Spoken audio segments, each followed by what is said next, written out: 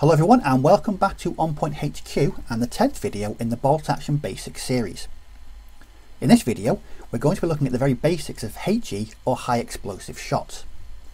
Some weapons in Bolt Action can fire either anti-tank or HE shots and so it's important that the player outlines what specific type of shot they will be using.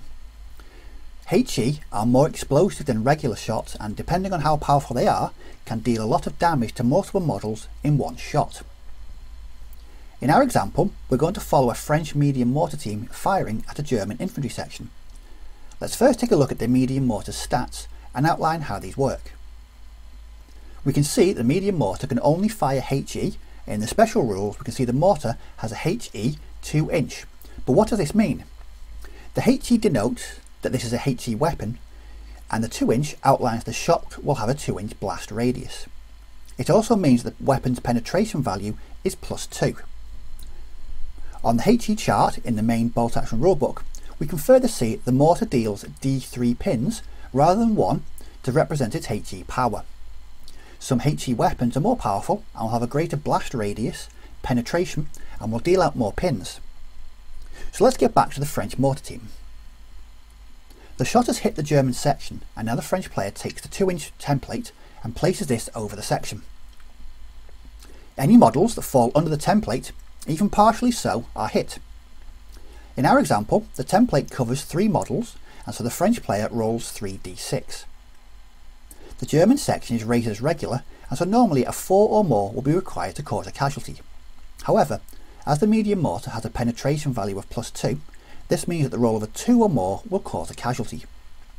With the roll of a 1, 2 and a 4, this means that two models are removed as casualties. Rather than just causing one pin, the shot causes the section to incur D3 pins. Using a D6 as a D3, a roll of a 3 sees the section incur 2 pins. If a unit that is being fired at by a HE shot has not been issued an order that round, it can choose to go down instead. This action is taken before the shot is fired.